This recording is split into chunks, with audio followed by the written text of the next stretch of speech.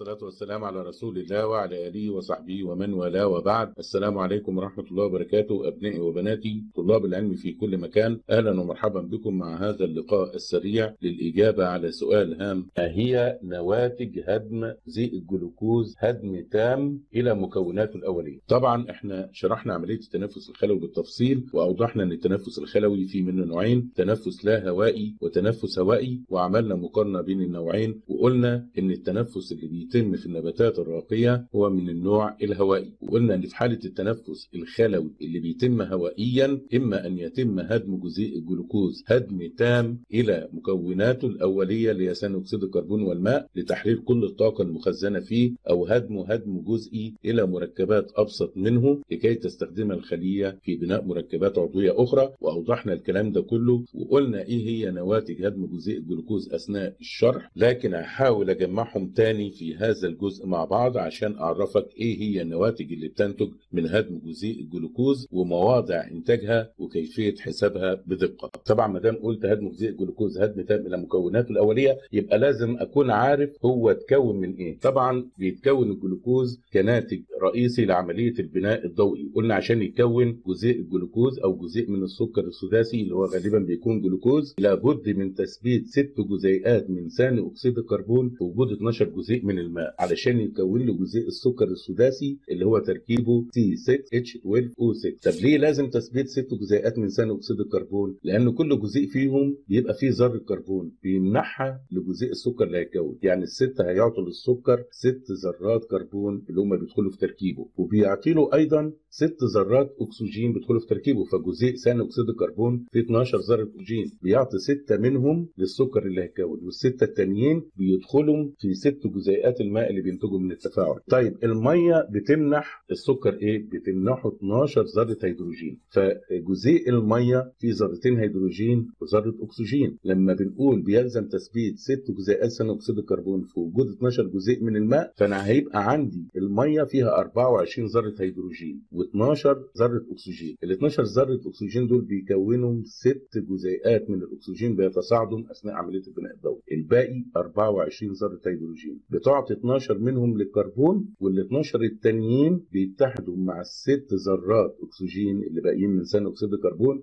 عشان يخرجوا في صورة ست جزيئات مية. يعني هنا تثبيت ست جزيئات من ثاني أكسيد الكربون لتمنح السكر اللي هيتكون ست ذرات كربون اللي هم موجودين في الست جزيئات بتاع ثاني أكسيد الكربون وست ذرات أكسجين. وال 12 جزيء مية بيمنحهم السكر 12 ذرة هيدروجين. وبالتالي لما يجي يتم هدم جزيء السكر السداسي اللي هو الجلوكوز هدم تام من خلال عملية التنفس الخلوي يبقى لابد إن مكوناته الأولية تنتج من التفاعل اللي هي هي ست جزيئات من ثاني أكسيد الكربون و12 جزيء من المية اللي هم دخلوا في التفاعل وده اللي أنا هوضحه لك. ده بالإضافة إلى الطاقة اللي هتنتج من عملية الهدم دي واللي أنا أوضحتها بالتفصيل خلال شرحي لعملية التنفس الخلوي. وعرفتكم إن بينتج من هدم جزيء الجلوكوز 38 جزيء ATP عايز أعرف بقى الست جزيئات ثاني أكسيد الكربون وال 12 جزيء مية هينتجوا إزاي من هدم جزيء الجلوكوز؟ تركز معايا. طبعا لما أنا شرحت عملية التنفس الخلوي قلت إن عملية التنفس الخلوي اللي بيتم من خلالها هدم جزيء الجلوكوز هدم تام لثاني أكسيد الكربون والماء لابد إن هي تتم في وجود الهواء وبتتضمن مرحلتين المرحلة الأولى اللي بنسميها الانحلال الجلايكولي وقلت المرحلة دي مرحلة لا هوائية يعني ما, ما بتلزمش توفر الأكسجين بيتم في وجوده أو غيابه ومن خلالها بيتم هدم جزيء الجلوكوز اللي هو فيه ست ذرات كربون إلى جزيئين من البيروفات كل جزيء فيهم فيه ثلاث ذرات كربون. يعني كده جزيء جلوكوز كأنه اتهدم إلى نصفين اللي هم جزيئي البيروفات اللي بينتجوا من هدمه في الانحلال الجلايكولي كل واحد فيه ثلاث ذرات كربون. مفيش كربون كده خرج ولا في مية خرجت خلال مرحلة الانحلال الجلايكولي لكن نبدأ نركز بعد كده بقى. جزيئي البيروفات دول هيحصل لهم إيه؟ طبعا قلت في حالة التنفس الهوائي لابد من توفر الأكسجين للمرحلة الثانية دي. لأن جزيئي البيروفات اللي نتجوا من الانحلال الجلايكولي دول هيدخلوا في المرحلة الثانية من عملية التنفس الخلوي اللي هي المرحلة الهوائية. وهيتم من خلالها اكسده جزيئي البيروفات اكسده تامة إلى ثاني أكسيد كربون وماء. عايز أعرف بقى إزاي هيطلع ثاني اكسيد الكربون من الماء أول خطوة بتحصل للبيروفات هنا إن بيتم أكسدته بالمرافق الإنزيمي NAD لنزع ذرة هيدروجين من مجموعة الكربوكسيل اللي فيه. فتبقى مجموعة الكربوكسيل عبارة عن COO بتخرج في صورة CO2 فأنا عندي جزيئين من البيروفات هيحصل لهم نفس الكلام. هيتأكسدوا بجزيئين من ال NAD ينزعوا منهم الهيدروجين في مجموعة الكربوكسيل فكل جزيء من البيروفات هيخرج منه ذرة كربون في صورة CO2 يعني الاثنين هيخرج منهم جزيئين من CO2 ويتحول البيروفات نتيجة لذلك إلى جزيئين من ال acetyl CoA جزيئين من ال acetyl CoA فال acetyl CoA ده هيكون فاضل فيه ذرتي كربون. يعني هنا الجلوكوز اتهدم لجزيئين من البيروفات كل جزيء فيه ثلاث ذرات كربون. خلال عملية الهدم دي ما حصلش خروج للكربون أو ما حصلش فقد للكربون. إنما جزيئي البيروفات لكل جزيء فيه ثلاث ذرات كربون بيتأكسدوا بجزيئين من ال NAD ويترتب على هذه الأكسدة إن كل جزيء من البيروفات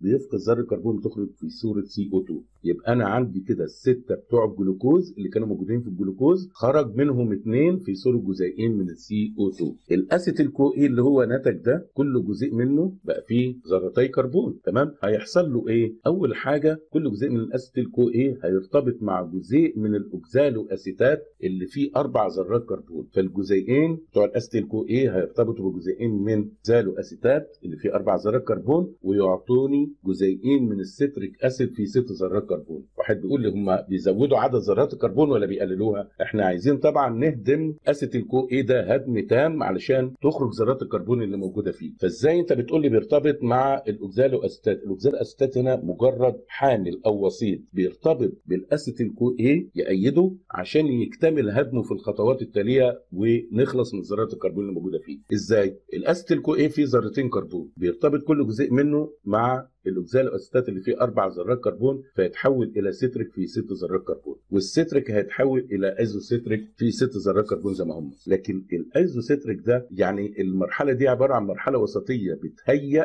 المركب اللي بيكون لحدوث عملية أكسدة. فال isocitric هتحصل له بقى أكسدة بواسطة مرافق انزيمي اللي هو ال NAD علشان ينزع منه ذره هيدروجين يترتب عليها خروج مجموعة كربوكسيل في صورة CO2 مجموعة الكربوكسيل اللي خرجت دي أساسها من الكربون اللي كان في ال acetyl CoA فأنا عندي جزيئين من ال acetyl CoA بيرتبطوا بجزيئين من الاوكزالو اسيتات عشان يدوني جزيئين من ال citric acid اللي كل واحد فيه فيه ست ذرات كربون. الاثنين ستريك هيتحولوا إلى اثنين isocitric ال isocitric اللي اتكون بتحصل له أكسدة هم جزيئين تحصل لهم أكسدة بجزيئين من ال NAD يترتب عليها خروج جزيئين من CO2 ويتحول ال isocitric إلى alpha-ketoglutaric فكده أنا عندي خرج جزيئين تاني هم من ال CO2 يبقى لسه فاضل اثنين ال alpha-ketoglutaric هيتأكسد بواسطه جزيئين من ال NAD لأن هم جزيئين alpha-ketoglutaric ونتيجة الأكسدة دي كل جزيء هيفقد ذرة كربون بتخرج في صورة CO2 يعني الجزيئين هيخرج منهم اثنين CO2 بكده لو تابعت تفاعلات حتى الآن هلاقي إن في جزيئين من ال CO2 خرجوا من أكسدة ال pyruvate وتحويلها إلى acetyl CoA وجزيئين خرجوا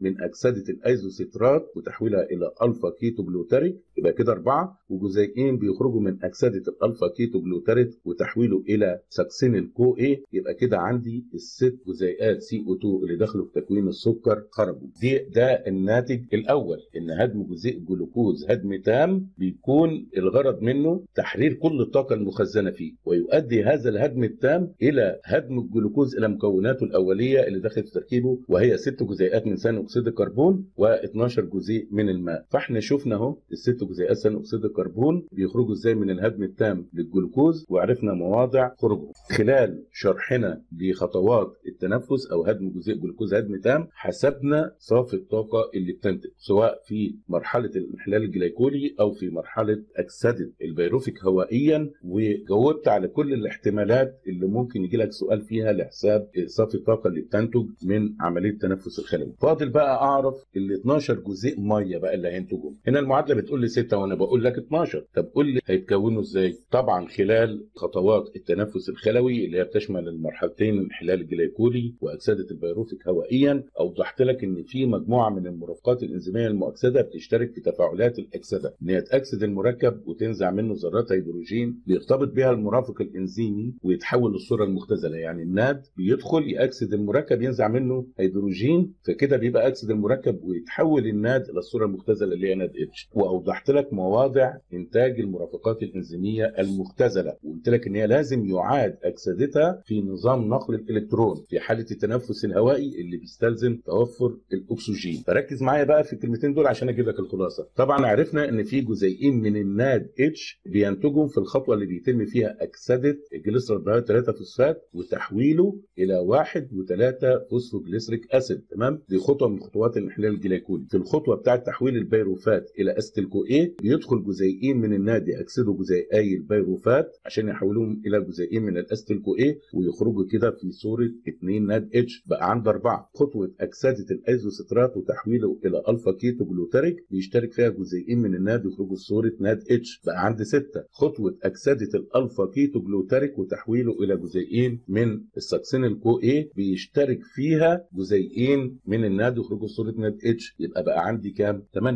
في الخطوة اللي بيتم فيها اكسده ال fumarate وتحويلها إلى malate دي بيشترك فيها جزيئين من ال FAD. بيأكسدوا ال fumarate عشان يحولوها ل malate وبيخرجوا في صورة 2 FADH. يبقى كده في عندي 10 جزيئات من المرافقات الانزيميه المختزلة. خطوة تحويل ال malate إلى oxalate بيشترك فيها 2 NAD بيأكسدوا ال malate عشان يحولوها إلى oxaloacetate ويخرجوا في صورة 2 NADH. يبقى بقى عندي 12 جزيء من المرافقات الانزيميه المختزلة بتنتج من هدم جزيء الجلوكوز هدم تام ال 12 جزيء دول قلت إن لازم يعاد أكسدتهم في نظام نقل الإلكترون طالما الاكسده تامة وفي وجود الأكسجين. كل جزيء منهم بيعاد اكسدته من خلال نزع ذرتي هيدروجين منه. معايا؟ كل ذرة هيدروجين فيها إلكترون وبروتون. الإلكترونات اللي موجودة في ذرتي الهيدروجين بتنطلق في نظام نقل الالكترون اللي هي سلسلة نقل الإلكترون اللي موجودة في الغشاء الداخلي للميتوكوندريا وتسري في هذه السلسلة إلى أن تصل إلى المستقبل النهائي بتاعها اللي هو ذرة أكسجين. هنا في المعادلة بتاعة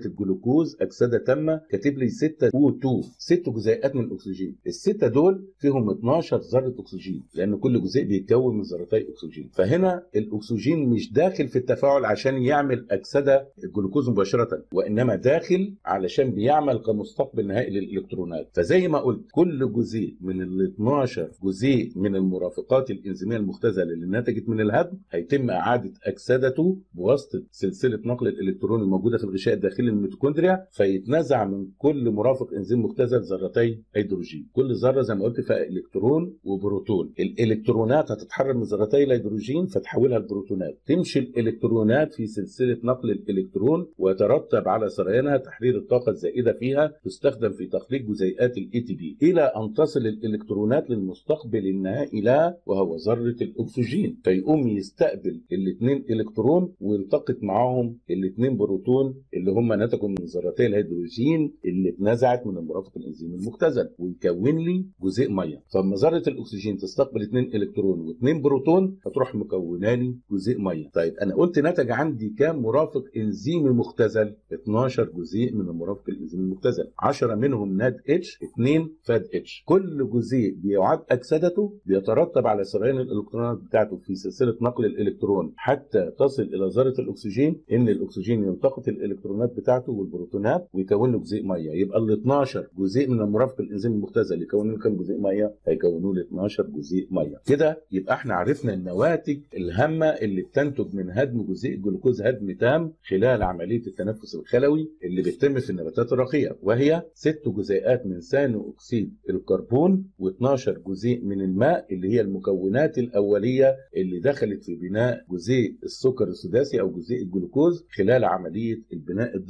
بالإضافة إلى تحرير طاقة مقدارها حوالي 38 جزيء ATP ودي أنا شرحتها تفصيليا وهشرحها تاني علشان ما يخلصنيش زعلكم.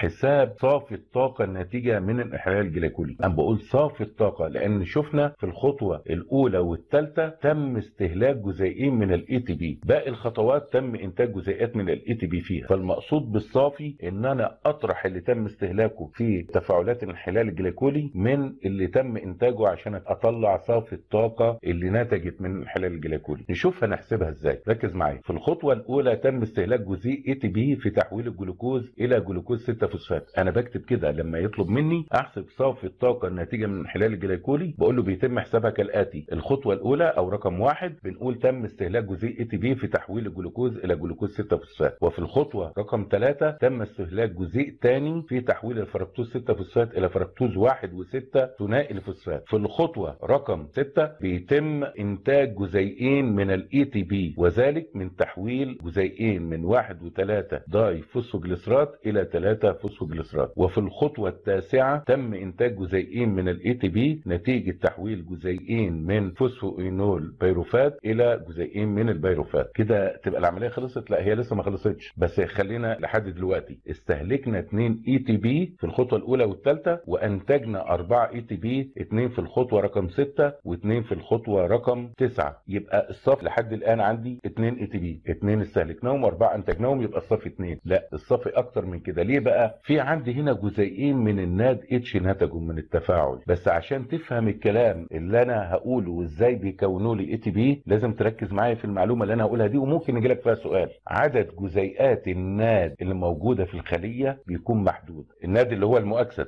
والخلية بتتم فيها تفاعلات مستمرة من تفاعلات الأكسدة والاختزال. يعني محتاجة المرافق الإنزيمي ده بأعداد كبيرة عشان تعمل له تفاعلات الأكسدة. طيب هتجيب العدد ده كله منين وهو العدد محدود داخل الخلية. وفي نفس الوقت هذه الجزيئات لا تنتقل من خلية إلى أخرى. الغشاء البلازمي ما بيسمحش بنقلها من خلية إلى خلية أخرى. إذا الخلية أو كل خلية بتبقى مقيدة بعدد محدد من جزيئات الناد وعندي تفاعلات كتيرة جدا بتتم في الخلية بتحتاج فيها مرافقات إنزيمية مؤكسده عشان تعمل تفاعلات الاكسده دي. يبقى ممكن يستهلكوا ثواني معدودة ويتحولوا للصورة المختزلة. الخلية تعمل إيه هنا بقى؟ زي ما قلت ربنا سبحانه وتعالى اللي أبدع في خلقه وكل شيء دبره تدبير دقيق أوجد في غشاء الميتوكوندريا الداخلي نظام اسمه نظام نقل الإلكترون. من خلال هذا النظام يعاد اكسده المرافقات الإنزيمية المختزلة اللي هي ال NADH وتحويلها للصوره المؤكسدة. فبمجرد ما تشترك جزيئات من ال NAD في تفاعل اكسده وتخرج هي في الصورة المختزلة على طول تذهب إلى الغشاء الداخلي للميتوكوندريا علشان يتم اكسدتها بنزع الالكترونات والبروتونات منها وتحويلها للصورة المؤكسده NAD الالكترونات والبروتونات اللي اتنزعت من ال NADH بتسري في سلسلة من حوامل نقل الإلكترون ويترتب على سريانها في النهاية تكوين ثلاث جزيئات ATP لأن الإلكترونات بتسري في حوامل متدرجة في مستوى طاقتها يعني من حوامل عالية في الطاقة إلى حوامل منخفضة في الطاقة. فأثناء السريان ده بتفقد الطاقة الزيادة اللي فيها هذه الطاقة تستخدم في ربط جزيئات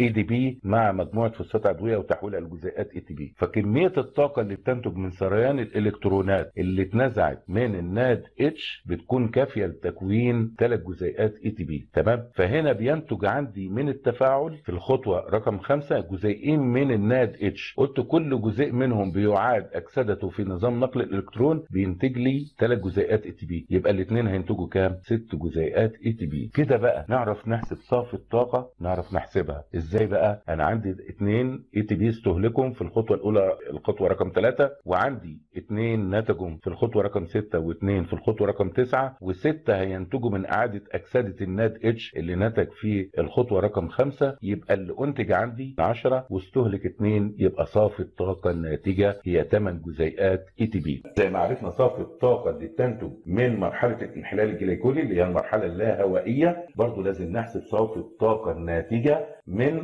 أكسدة البيروفيك هوائيا أكسدة تم ثاني أكسيد الكربون مميز طبعا إحنا عرفنا إن بينتج من الانحلال الجليكولي جزيئين من البيروفات ومشينا الدوره على إنها اكسده لجزيئين من البيروفات لما ينتج عندي جزيئين من البيروفات هيتم أكسدتهم بواسطة اثنين من ال NAD في الخطوة الوسطية فيتحول لاثنين NAD لاثنين NADH هيروحوا على سلسلة نقل الإلكترون في الغشاء الداخلي للميتوكوندريا يعاد أكسدتهم وكل جزيء قلت بينتج من اعاده أكسده ثلاث جزيئات ATP يعني في الخطوة دي طالما ماشية أنا اثنين NAD يبقى بينتج عندي اثنين NADH دول هعمل شرطة جنبهم كده واكتب سلسلة نقل الإلكترون. يعني بيروحوا إلى سلسلة نقل الإلكترون وبينتجوا لي 6 ATP يعني في ست جزيئات ATP ينتجوا الخطوه الوسطيه دي بعد كده في عندي خطوة تحويل الأيزوسترات إلى ألفا كيتو جلوترات بيستخدم فيها برضو ال NAD يعني الجزيئين أيزوسترات بيتم اكسدتهم باثنين من ال NAD بيخرجوا في صورة 2 NADH برضه عامل خط كده إلى سلسلة نقل الإلكترون ينتجوا 6 ATP الخطوة اللي بعد كده في عندي تحويل الألفا كيتو جلوترات إلى سكسينيل CoA بيتم من خلال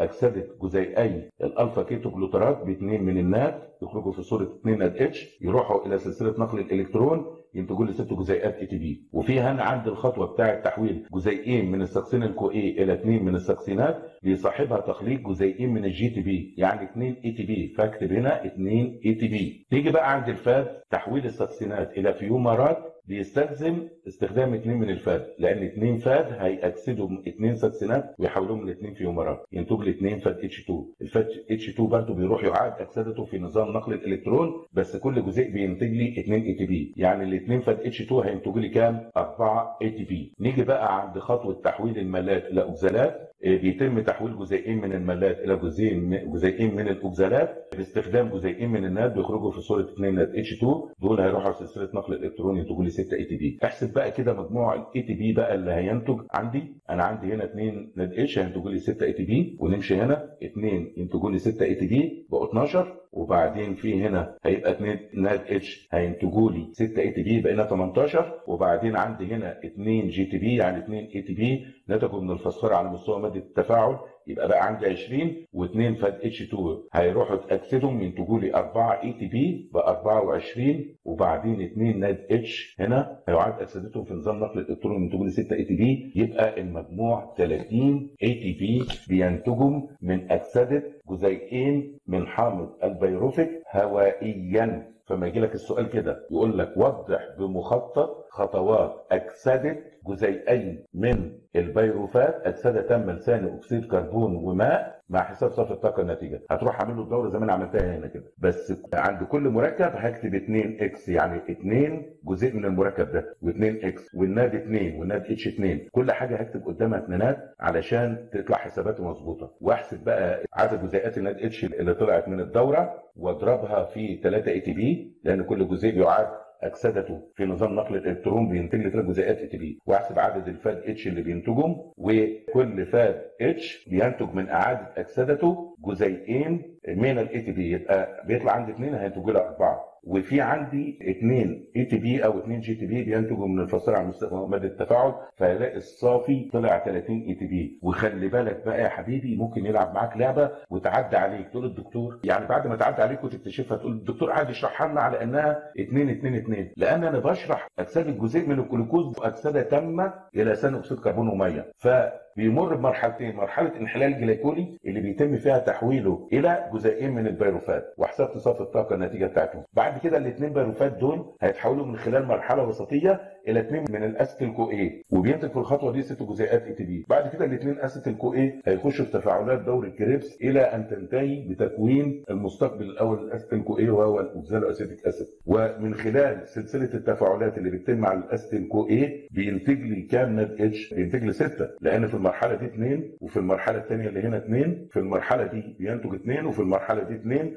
وفي اثنين هنا يبقى 6 6 في 3 ب 18 وبينتج لي 2 FADH بأربعة يبقى 22 وبينتج لي 2 GTP يبقى كده بقى عندي كام؟ 24 وفي 6 نتجوا من الخطوة الوسطية يبقى عندي 30 يبقى أكسدت جزيئين من البيروفات؟ أكسدة تامة إلى ثاني أكسيد الكربون وماء من خلال الأكسدة الهوائية بينتج لي 30 جزيء ATP. لو حبيت ألعب معاك بقى وأختبر مدى تركيزك أقول لك احسب لي صافي الطاقة الناتجة من أكسدة جزيء واحد من حمض البيروفيك اكسده هوائية. الاثنينات اللي انت عملتها تلغيها. تلغيها إزاي؟ هتشتغل على واحد بيروفات. لأن أنا طلبت منك تحسب لي كمية الطاقة الناتجة من أكسدة جزيء واحد من البيروفات اكسدة تامة لثاني اكسيد وميه فهتبدأ من هنا. بيروفات جزيء واحد يتحول لجزيء من ال acetyl CoA ده بيستهلك جزيء NAD بيخرج في صورة NADH وتعمل جنبها سهم كده بينتج لك 3 ATP من خلال إعادة أكسدته طبعا في نظام نقل الإلكترون. وتمشي كل التفاعلات على إنها إيه؟ جزيء واحد واحد واحد واحد. فهتحسب بعد كده في عندك جزيء NADH نتج من الخطوة الوسطية جزيء ثاني نتج من الخطوة دي اللي هي تحويل الأيزوسترات إلى ألفا كيتو جلوتارات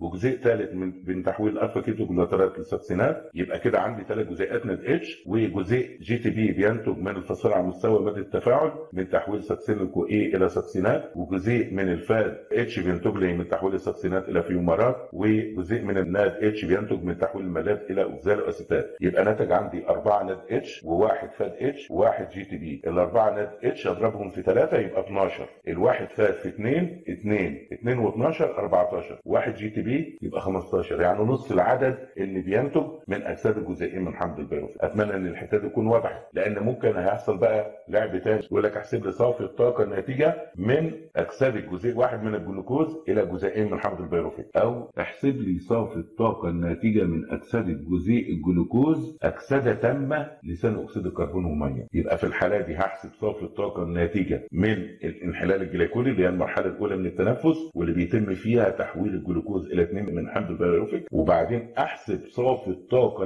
الناتجه من اكسده جزيئي حمض البيروفيك. اكسده تامه في وجود أكسجين الهواء الجوي إلى ثاني أكسيد كربون وميه اللي هي الخطوة الوسطية ودورة كريبس فالانحلال الجليكولي هلاقيهم 8 ATP دي صافي الطاقه الناتجه اكسده الجزيئين من حمض البيروفيك اكسده تامه هوائيا من خلال المرحله الوسطية ودورة كريبس بيطلع لي 30 ATP يبقى صافي الطاقه الناتجه من اكسده جزيء الجلوكوز. اكسده تامه لثاني أكسيد كربون وماء. هتكون 38 ATP ممكن يلعب معايا لعبة تاني؟ آه. لأنه عايزين نعرف المعلومات اللي إحنا قلنا لك دي أنت فهمتها واستوعبتها ولا لأ؟ فممكن يقول لك إيه؟ احسب لي صافي الطاقة الناتجة من أكسدة جزيء الجلوكوز أكسدة غير تامة إلى جزيئين من ال alpha ketoglutaric شفت بقى أنا جيت لك فين؟ أكسدة غير إلى جزيئين من ال alpha ketoglutaric يبقى أنت هتبدأ من أكسدة الجلوكوز وتحويله إلى جزيئين من حمض البيروفيك اللي هي مرحلة الانحلال الجليكولي وهتحسب صافي الطاقة اللي طالع منها هتلاقيها 8 ATP طيب بعد كده الاثنين بايروفيك اللي كونهم هيخشوا في المرحلة الوسطية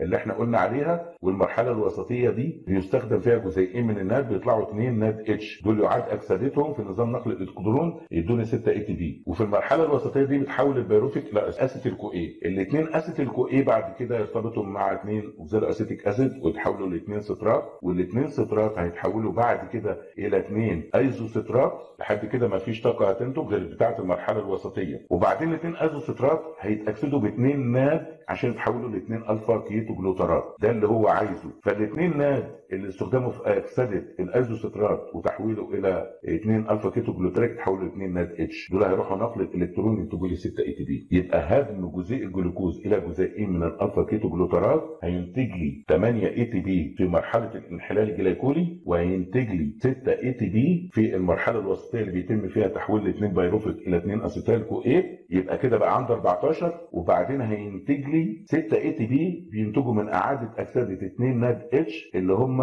نتجوا من أكسدة جزيئين من ال isocitrate إلى 2 alpha ketoglutarate فهيبقى المجموع عندي 20 ATP وهكذا. ممكن يقول لك احسب صافي الطاقة الناتجة من أكسدة جزيء الجلوكوز أكسدة غير كاملة إلى جزيئين من ال succinyl CoA يبقى هتكمل الدورة لحد ال succinyl CoA فهتلاقي في عندك جزيئين NAD هنا بيدخلوا يأكسدوا الجزيئين. بتاع ال alpha ketoglutaric عشان يحولوهم لاثنين succinyl CoA وبيتحول الاثنين NAD إلى 2 NADH. دول بينتجوا ست جزيئات ATP من خلال اعاده اكسدتهم في نظام نقل الالكترون. هزودهم على 20 يبقى المجموع عندي هيبقى 26 وهكذا.